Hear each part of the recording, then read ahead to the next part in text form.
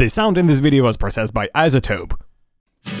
In this video, everything you wanted to know about Xvive U3 microphone wireless system, what it's worth and where to get it, what's inside of the box, we'll go through all the features, check weight and size, open the unit, I'll show you how to use U3 and we'll check it with a microphone, acoustic guitar and other devices. We'll find out if it is compatible with U2, another wireless system from Xvive. We'll cover everything about battery and recharging. There are a couple of hidden features and usability issues. As always, we'll science all the shit out of it. Latency test, frequency response, noise level, headroom and wireless range tests. All-around interference with multiple units running at the same time. And do you think it's gonna kill your Wi-Fi networks? You're gonna have to watch to find out. And it's all coming up right now. Hello everyone, here is Max and in this video we're going to be looking at Xvive U3 microphone wireless system. And let's begin with taking a quick look at the official website. So the website tells us the recommended retail price is 199 US dollars and there's a link to Amazon right here. The unit works at 2.4 gigahertz, which means it can be used without license anywhere in the world, which is good working with XLR dynamic microphone and battery powered condenser microphones, which means it doesn't provide phantom power. So if you're going to be using it with a condenser mic, it needs to be battery powered. Less than 5 milliseconds latency, we're going to check that later on. Up to 90 feet, well, we'll check that as well. Applications, pretty much anywhere where XLR connectors are used. Alright, let's check the stores. Amazon first of all. And it offers the unit for 199 and that's going to be the price pretty much anywhere in the United States. Sweetwater, Musicians Friends, all for the same price, 199 US dollars. If you're in Europe, you can find it in Thomann for 199 euros, which is a little bit more than in the US. If you happen to be in the UK, you may want to take a look at Gear4music, and you'll find it here for 175 pounds. In Russia, you'll find it at Muztorg for 26,000 rubles, which is almost twice as much as anywhere else. This is insane. These guys are out of their minds. And if you're in Japan, check Sound House, where you'll find it for 20,000 yen, which is actually lower than anywhere in the world at this point. I'll give you some links to Thomann and Amazon in the description below. Alright, here's what the box looks like. And on the other side you'll find all the same things we have already seen on the website. I mean specs, less than 5 milliseconds latency, up to 5 hours of battery life, and stuff like that. On the other side of the box it says, designed in the USA. I don't know if that's true, but it definitely was assembled in China. Good, let's open the box. It is a nice box by the way, the packaging is really well done. And here's the receiver. It feels pretty solid, no screws or anything. Metal enclosure, it doesn't feel cheap at all. And here's the transmitter as well. It has this lock button and an antenna. And XLR connectors fit, that's a good sign. Okay, what else do we have here? A USB cable with two micro USB connectors. This one is for charging as always, some poison, do not eat this. A sticker for U3 fans, a warranty card, Nancy must be really busy going through all those emails. User manual, we'll take a close look at this later. And some legal stuff no one's ever gonna read. And finally my favorite, a pouch where you can keep the unit when it's not in use.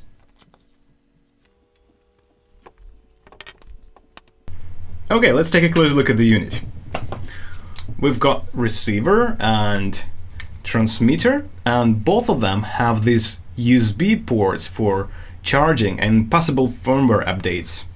On the other side, both of them have power switch, and the transmitter also has this sensitivity switch, so you can switch between mic or line signal.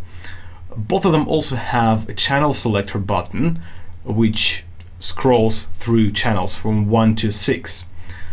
Um, transmitter has this lock button here, such as when it is plugged into the mic, it locks in there and won't fall out. and apparently they both passed some quality control. Speaking of functional stuff, that's it. There's an antenna here on the transmitter and uh, an LED here on the receiver which shows us that there's a link.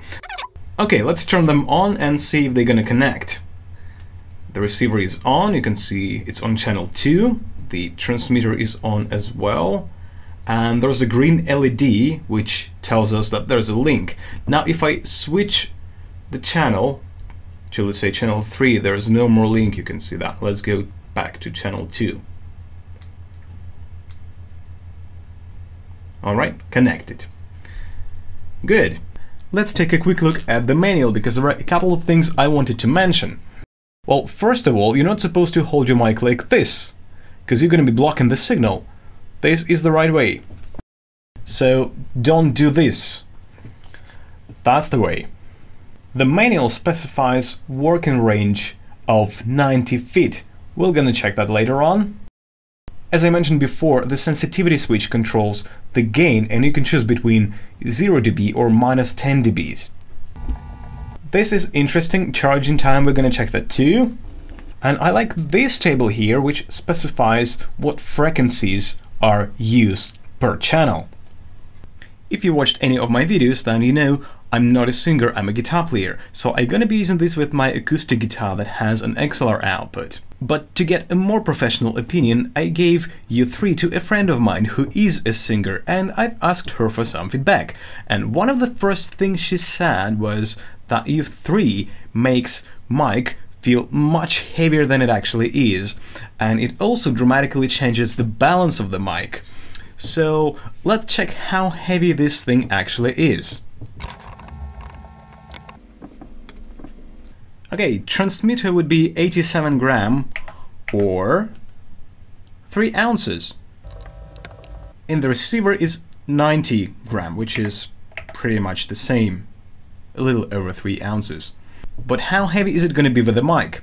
Let's check it out. I have this Shure Beta 58 mic, which is a pretty standard mic, so I'll just plug the transmitter into it, and you can see it, it locks right there, such as it won't go away. So let's check this out, how heavy this combination is. 369 gram or 13 ounces. Let's go back to gram. Okay, let's compare it to an average wireless mic. I happen to have this mic from Line 6, I'm not sure what model this is, but it feels like a regular wireless mic. So it was 368 versus 363. So they are almost the same weight, you won't feel the difference. What about the balance?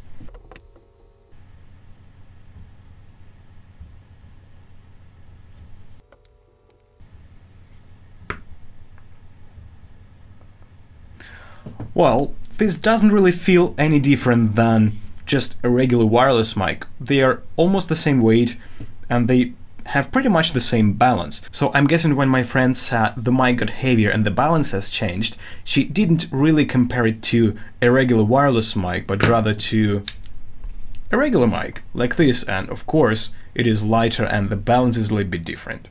Speaking of the size, how big is U3 actually? Well, as you can see, together with the mic, it is pretty much the same size as a regular wireless mic. It may be a little bit longer than this one, but overall it is the same size. And separately, it is just a little bigger than a regular 9 volt battery. But if you want to know for sure, I'll give you numbers. Here we go, this is the transmitter.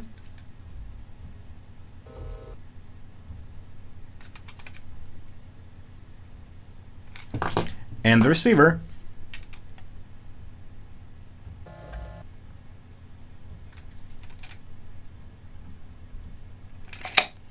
Let's check how U3 units compare to standard XLR plugs. Let's begin with transmitter. It is slightly thicker and slightly longer on the length of the antenna than the XLR plug. The same works for the receiver. It is slightly thicker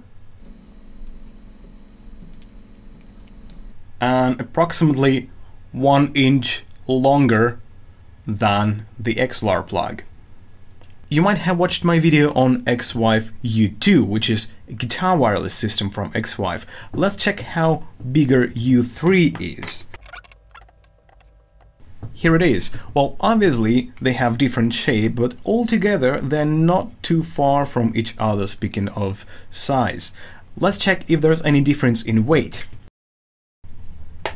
Okay, U2 transmitter was 41 and U3 transmitter is 87. It's pretty much twice as much. U2 receiver 41, U3 receiver 89. Yeah, so U3 is twice as heavy. Okay, let's try to open the unit and take a look inside. Not entirely sure about it. Oh, yeah, that's it. That's the way.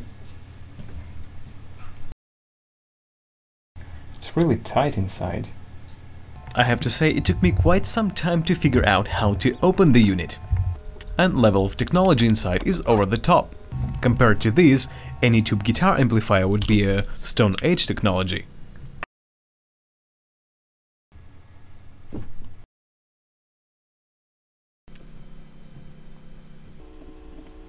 I don't have a proper screwdriver for those, but I'll try to figure something out. Yeah, those screws really gave me some trouble, but very soon they've lost the battle.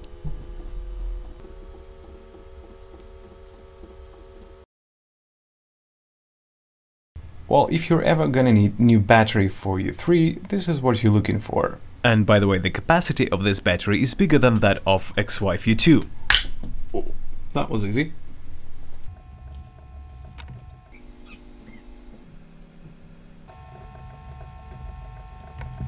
these screws again. Shit. April 2018. Okay, batteries are exactly the same. Tiny, tiny SMD components. Don't try this at home unless you really want to destroy your unit. And here are some close-ups. This is the receiver. You can see the DSP and A7125 is a wireless transceiver or a radio model. Here is the DA converter, which is different than the one that U2 has. And transmitter has the same DSP, and PCM1803 is the AD converter, which is the same as Xvive U2 uses. Xvive U3 is very easy to use. If you want to use it with a mic, Take the transmitter and plug it into the mic until you hear the click. Now plug the receiver into the mixer.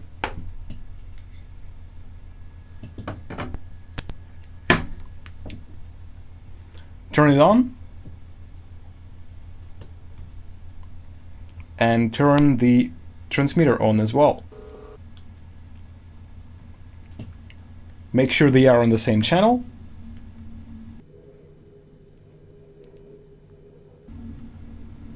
and as soon as you see a green light, you're good to go. It is as easy as this, it is pretty much plug and play. Well, even though the box says it is a microphone wireless system, there is more than that you can do with U3. For example, you can run your acoustic guitar if it has an XLR output directly into a mixer without any cables, or you can turn your PA into wireless speakers by plug-in transmitter into the mixer and receiver into the speaker. Actually, pretty much any equipment that has XLR connectors can use U3 to transmit the signal. Let's check how U3 is gonna feel with different devices. Well, you have already seen it with this mic, and I've mentioned that the balance changes a little bit, but it's no different than a balance of a regular wireless mic like this. So what about this one? This is a standard SM57 mic.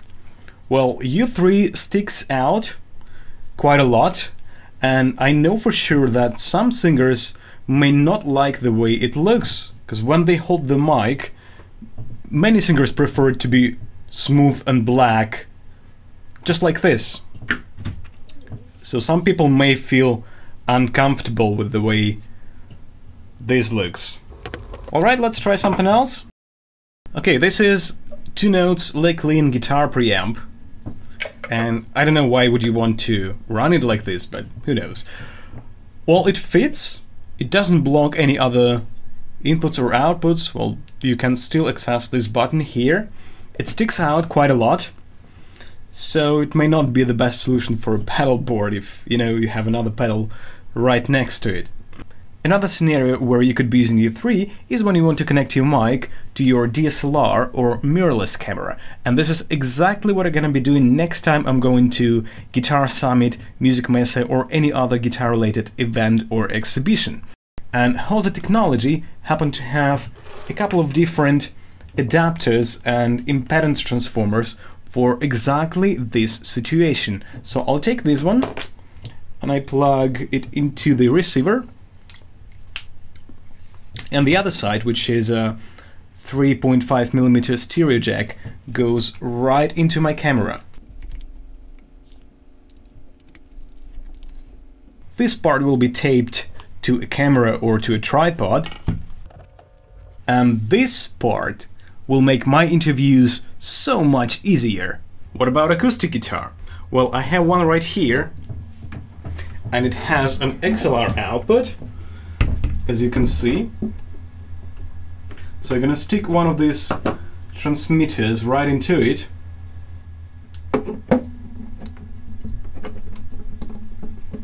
And here is what it looks like. Yeah, it is pretty bulky and I can imagine that U3 probably wasn't initially meant for an acoustic guitar, but I have to say that I played a gig like this and it didn't feel particularly uncomfortable. I just had to keep in mind that there's an extra part sticking out of my guitar. You might already know that many inexpensive guitar wireless systems like U2 have problems with piezo pickups on acoustic guitars or with active pickups. This is probably happening due to plastic enclosure and lack of isolation. I found out about this after my video on U2 was already published, so this time I felt it was necessary to test U3 with an acoustic guitar. So, transmitter goes into my guitar, and receiver goes into the mixer.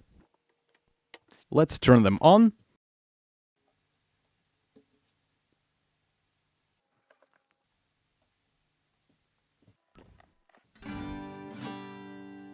Okay, let's check it out.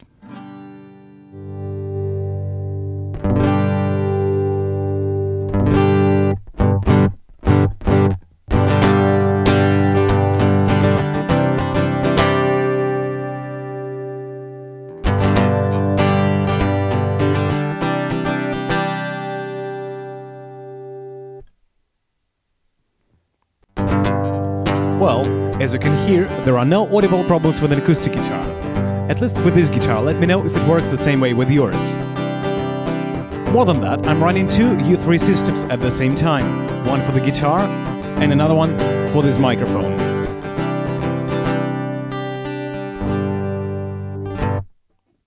We've got Xvive U2 and U3 wireless systems, and you may be wondering what is the difference other than this one is supposed to be used for the guitar and this one is for a microphone. Well, I can tell you that DSP and analog to digital converters are the same while DA converters are different and the circuit is completely different. I was also asking myself, are these compatible? Can I use this transmitter with this receiver or this receiver with this transmitter? Let's find out. Let's turn this on first of all. One, two, three, four. So this transmitter is on channel 4. So in theory, if I turn this one on and set it to channel 4, if they were compatible, it's supposed to work. So now it's on channel 2, 3, 4. Wow. No, there is no link. Okay, let's try the other way. One, two, three, four. Channel 4 again. I'll turn this one on. It's on channel 2. Let's turn it to channel 4. Huh. No, no link. Unfortunately, U3 is not compatible with U2. And here is what it looks like when there is a link. Okay, now what happens if the battery suddenly runs out? Is it possible to use U3 and charge it at the same time? Let's find out. And for that, I've got a couple of power banks. And this is my favorite power bank from Harley Benton. It has two 9-volt outputs for pedals, USB output and a flashlight. Let's try to connect it to the receiver.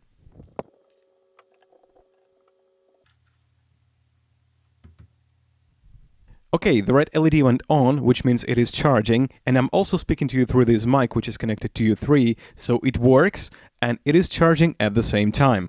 If you don't have a power bank, you can also use a standard USB charger, or even something like this.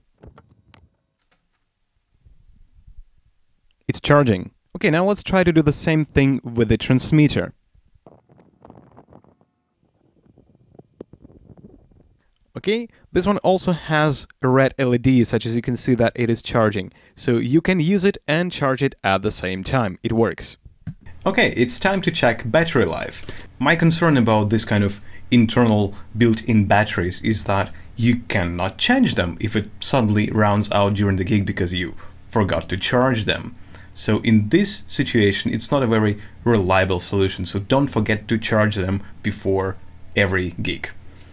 Remember the box mentioned it's supposed to hold up to 5 hours, but I remember that battery in U2 lasted much longer, about 8 hours, so I thought it was rather a pessimistic estimation. So I've charged both transmitter and receiver to 100% and let them run until batteries eventually died. The receiver was the first one to stop working after nine and a half hours, which is a very very long time. Approximately one hour before the battery runs out, the red LED goes on and it starts blinking somewhere like half an hour before the unit stops working. The transmitter stopped working an hour later after 10 and a half hours, which is incredibly long, and this time the red LED went on approximately one and a half hours before the battery ran out and it started blinking half an hour before the unit stopped working.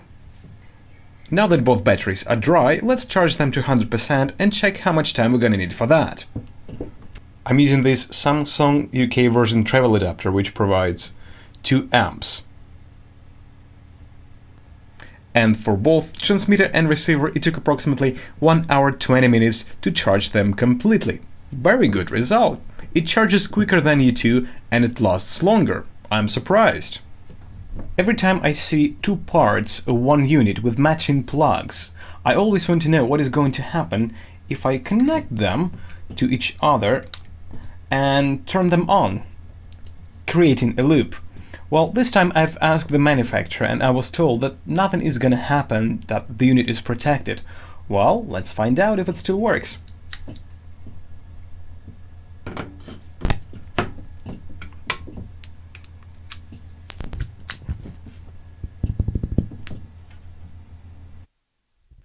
One, two, two. Yeah, it still works. Very good. Another question is, what is going to happen if someone, by accident or on purpose, turns on the phantom power?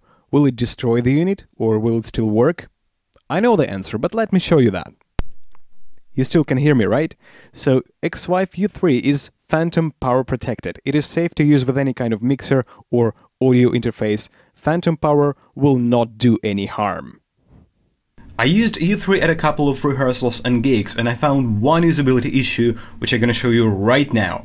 Imagine you need to go with your U3 receiver directly into the mixer, for example like this one. I have two receivers right here and notice that they have power switch on this side. So when I plug it in into channel 2 let's say, the power switch happens to be on the left side as you can see here so if I plug another receiver right next to it, the first one is blocking all my controls, so I cannot turn it on or off or change the channel. Um, more than that, if I want to use a cable, XLR cable on channel 1, that will block controls on this receiver as well. I think you would agree that every time you have, let's say, a half an hour break between sets when you play in a gig, you would normally turn your wireless units off in order to save batteries. And pretty much every mixer has its XLR inputs oriented this way. So with U3 system, you would need to unplug the receivers and turn them off every time you need to do that. I just wish U3 had all the switches and controls on this side, such as you can see them and easily access them while you are operating the mixer, and also a USB connector on the other side, such as it won't create a cable mess like this if you need to use it and charge it at the same time. Another problem I found with it is that you cannot put your guitar on a guitar stand while using a U3 because it is long enough that it's gonna hit the floor. Let me show you what I mean. There is no way I can put the guitar on the stand. There is a solution to it though. If you really want to use U3 with your acoustic guitar, you can use an extension cord with an Engel XLR plug which goes in here and then the transmitter can be taped to your guitar strap. Let's measure the latency. I have already explained this procedure in my video on Xvive U2, so if you want to know the details, I'll give you a link to it in the description below. And now, let's go straight to the test. Let me remind you that for Xvive U2, the latency was 477 samples at 96 kHz, which is a little less than 5 milliseconds. Let's see if U3 is any different. 477 samples, which is exactly the same as for U2 which makes it a little less than 5 milliseconds. Is that a lot? Well, it's a little bit more than I would like it to be. It is actually very well explained in my video on Xvive U2, so you may want to watch that one as well. Let's check the frequency response. As it was in the video on U2, I'm using True Selector, and I have a patch cable in the loop A and U3 transmitter and receiver in the loop B, so I can switch between them in the real time. Now let's play a white noise sample first through patch cable and then through the U3 to figure out the frequency response. Now the sound goes through the patch cable, and you can see all the frequencies coming through, the response is flat. Let's switch over to U3. And now you can see a cutoff at approximately 24 kHz, which means internally U3 is running at 48 kHz, just as described.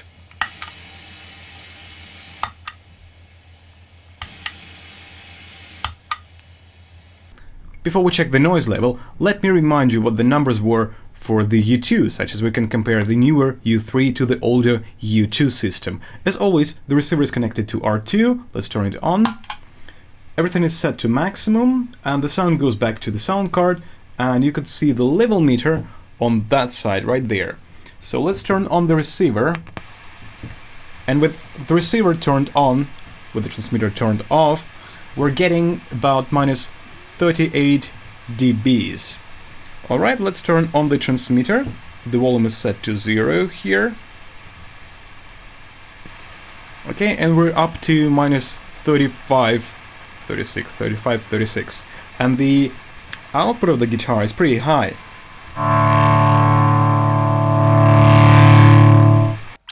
Let's swap to U3.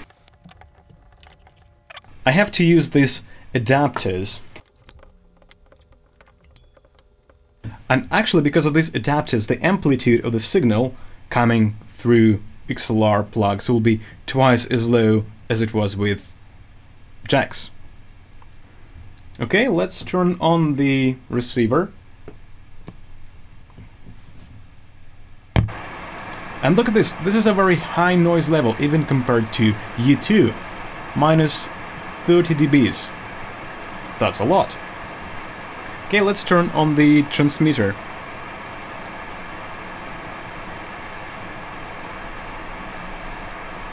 Okay, we have a link, nothing really changed. And the output level of the guitar is lower now.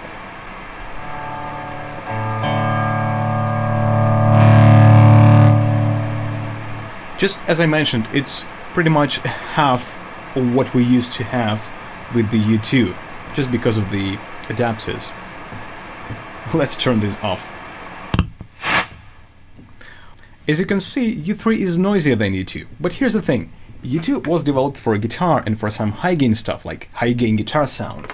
and U3 is supposed to be used with a microphone where gain levels will never be as high as they are for high gain guitar sound. So it is not that critical, although I wish the noise level for U3 was lower. Let's check if U3 has enough headroom and if it is able to take high input levels without distorting. For that I'm using my phone to play some music. It goes into this device which simply converts my mini jack input into XLR output and this cable goes to the audio interface where gain is set to zero and you will see what is happening at the level meter right there. Let's play some music and see what happens. Now the sound goes through the cable, so let's swap the cable with the U3 system.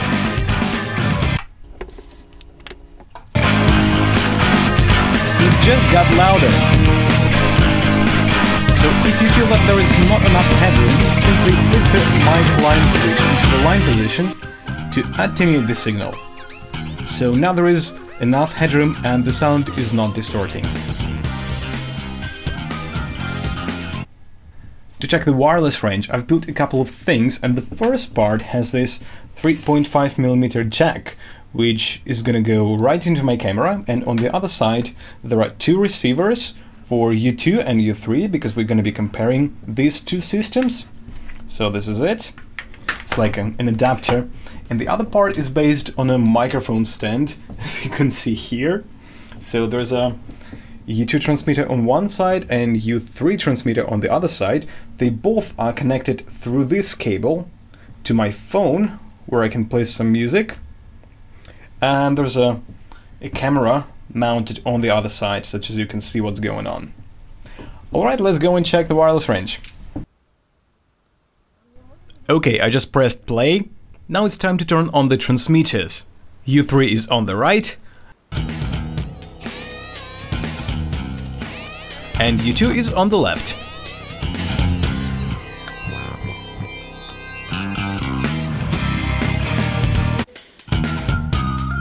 The receivers are staying where the main camera is. My starting point is this red-white pole, and I'm gonna be walking away from it with this bicycle handlebar in my hands. You're gonna hear if there will be any dropouts.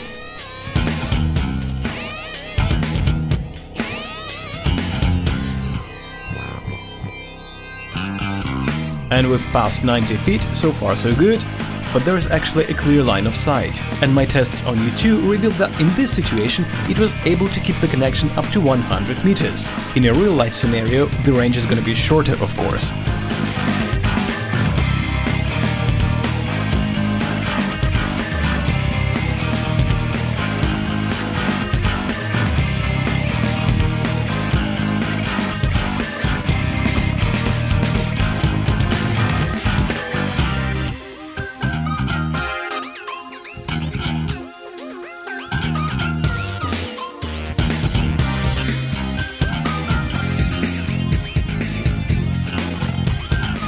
100 meters mark. Again, this is a clear line of sight.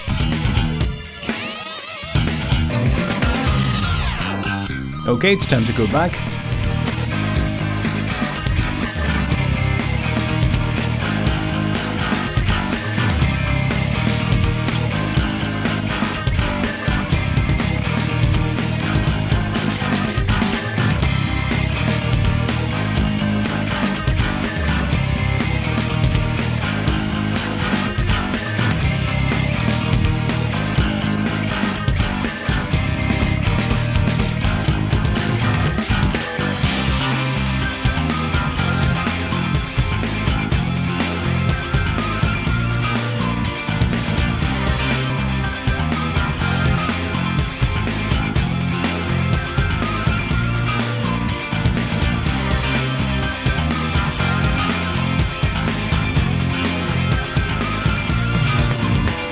If U3 can make it up to 100 meters here, I'm pretty sure it's gonna have a stable connection up to 90 feet in a more unfriendly environment.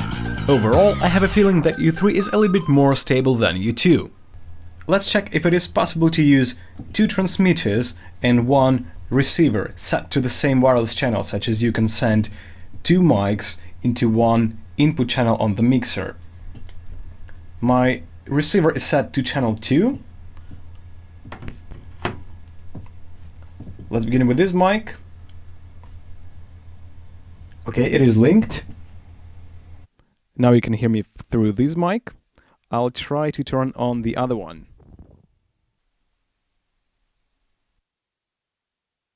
One, two, two, two, two, two.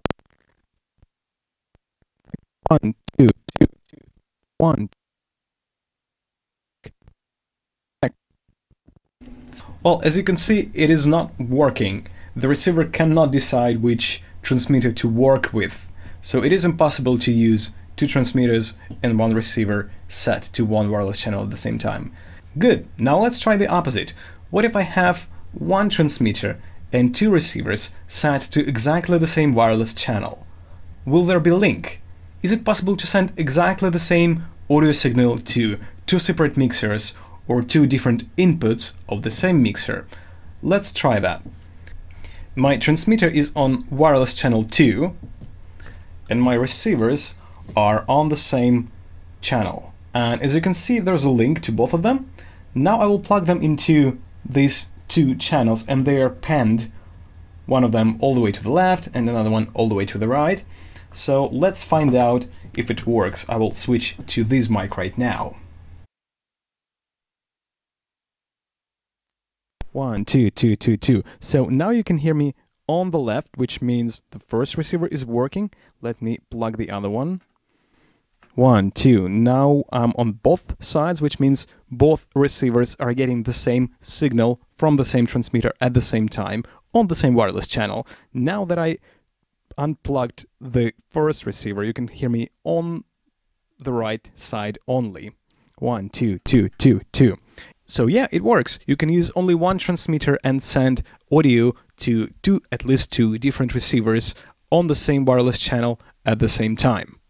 For the interference test, I wanted to try to run as many wireless systems at the same time as possible. And right now, I'm running five of them at the same time. Right now, I'm speaking to you through this Line 6 V75 wireless mic, which is on channel 2 on the mixer. 1, 2, 2, 2, 2, 2, 2, 2, 2, 2, 2, check, check, check, check, check. Okay, on my left, which is probably your right, I've got SM57 mic, which you can hear right now. 1, 2, check, check, check, check, check, check, check. On my right and uh, I think your left, we've got Beta 58 mic. 1, 2, 2, 2, 2, 2, 2, 2, 2 two, two, check, check. These two mics running U3 Xvive U3 system on channels 1 and 3 accordingly. Um, then we've got two U2 systems on the guitar We've got direct signal out of R2 with internal cabinet simulation. I think it's going to be on this one, on channel 7, 8.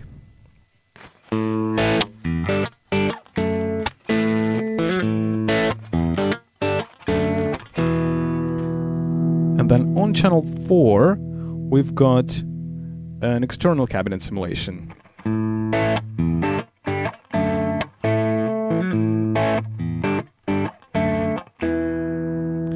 Alright, let's try to run them all together at the same time. Central mic.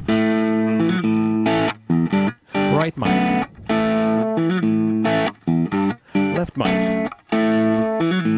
Central mic again. Well, I have to say that these wireless receivers really don't like to be put this close together. So it's all about picking right wireless channels to make it all work. Two systems can run at the same time without any problems, but as soon as you add more and more and more, the more dropouts are there, the more interference is there. So it took me quite some time to make this work. But, well, it is possible. Alright, so now you can hear, you can see, you can even see these dropouts here on this mic. You can see these dropouts here on this mic and on this guitar channel from time to time so they really don't like each other. So it's all about finding the right placement for the receivers and finding the right wireless channels to run it all simultaneously. And I can tell you what channels I'm using right now this mic is using wireless channel 1. This mic is on channel 2. This mic is on channel 2, but this is line 6 wireless. Um, okay, this system is using channel 2. And this one is on channel 4. 2.4 GHz wireless systems like U2 or U3 create problems for Wi-Fi networks because they work on the same frequency. Right here you can see Wi-Fi network analyzer on my phone and there are many different Wi-Fi networks around this place. So let's turn on U3 and see what happens.